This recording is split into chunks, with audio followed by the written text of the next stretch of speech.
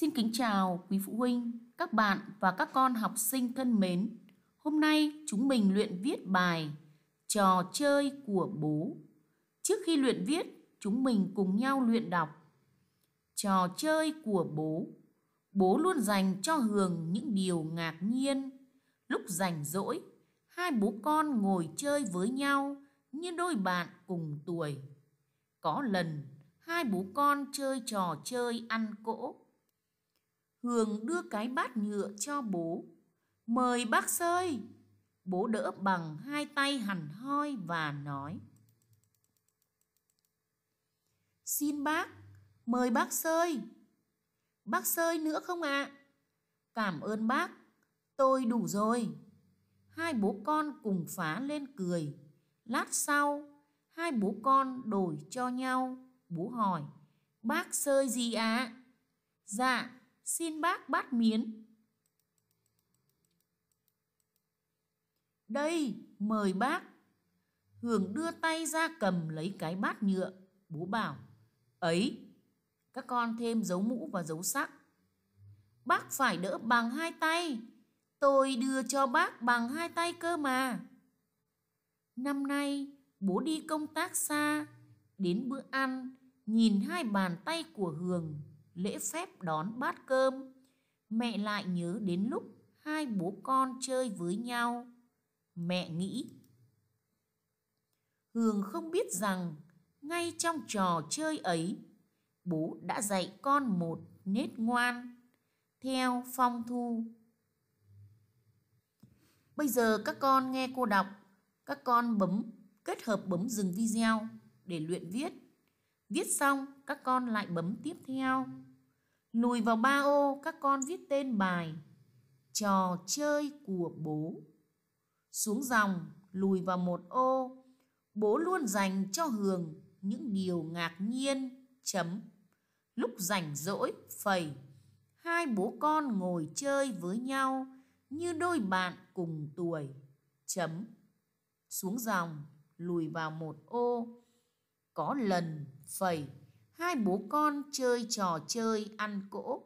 Ăn cỗ các con viết trong dấu ngoặc kép. Chấm. Hường đưa cái bát nhựa cho bố. Hai chấm xuống dòng, gạch đầu dòng, viết ở ô thứ hai. Mời bác sơi.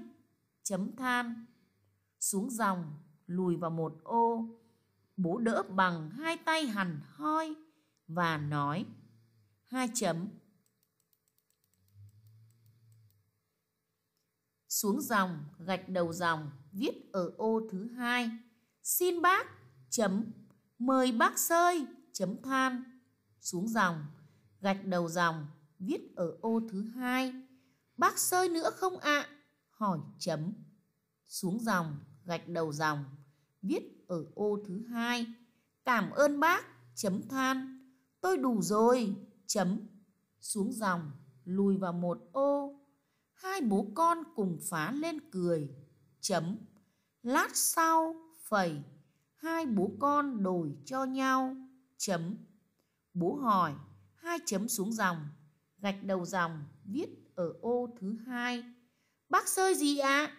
hỏi chấm. Xuống dòng, gạch đầu dòng, viết ở ô thứ hai. Dạ phẩy. Xin bác bát miến. Chấm. Xuống dòng. Gạch đầu dòng ở ô thứ nhất, viết ở ô thứ hai.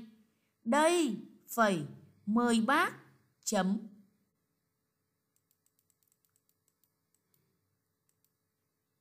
Xuống dòng, lùi vào một ô, Hường đưa tay ra cầm lấy cái bát nhựa, chấm. Bố bảo, hai chấm. Ấy, con thêm dấu mũ và dấu sắc. Gạch đầu dòng viết ở ô thứ hai. Ấy, phẩy, các con thêm dấu mũ và dấu sắc. Bác phải đỡ bằng hai tay. Chấm. Tôi đưa cho bác bằng hai tay cơ mà. Chấm than. Xuống dòng, lùi vào một ô. Năm nay phẩy, bố đi công tác xa. Chấm. Đến bữa ăn phẩy, nhìn hai bàn tay của Hường lễ phép đón bát cơm. Phẩy, mẹ lại nhớ đến lúc hai bố con chơi với nhau chấm. Mẹ nghĩ phẩy, Hường không biết rằng ngay trong trò chơi ấy, phẩy, bố đã dạy con một nết ngoan, chấm. Xuống dòng, lùi vào sáu ô, theo phong thu. Các con thân mến, hàng ngày các con chăm chỉ luyện viết để chữ của các con đẹp hơn. Viết bài xong, các con bấm like và nút đăng ký để nhận được thêm những video luyện viết tiếp theo của cô. Cô chào các con. Hẹn gặp lại các con ở những bài học tiếp theo.